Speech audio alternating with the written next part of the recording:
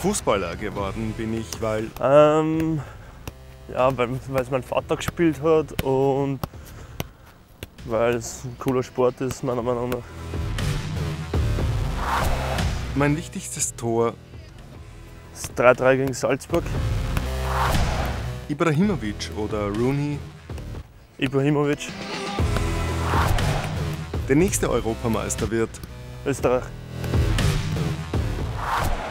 Mein Zeitvertreib auf Reisen, Ähm, Mario Kart spielen mit ein paar Spielern.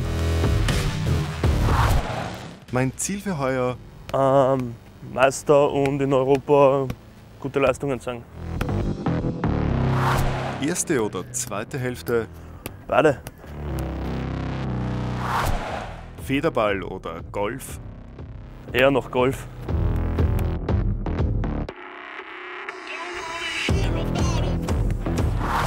Was ich noch lernen möchte, Äh, Das kann ich jetzt schon mit dem Golfball, also mit dem Federball, glaube ich.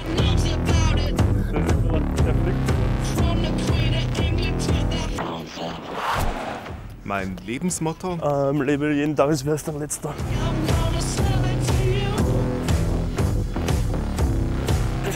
Das ist ein Wahnsinn.